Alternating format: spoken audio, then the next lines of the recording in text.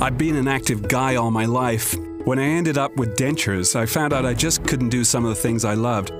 Ever tried jumping out of a plane while worrying if your teeth are going to fall out?